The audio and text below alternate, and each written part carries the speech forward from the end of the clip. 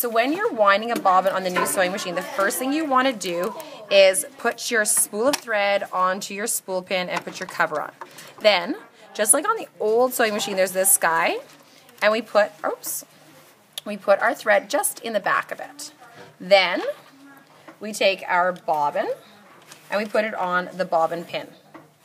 Take the end of your thread, wrap it around clockwise, and then make sure you push this over.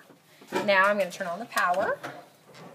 I'm going to put my foot on the foot pedal and I'm going to hold on to this guy.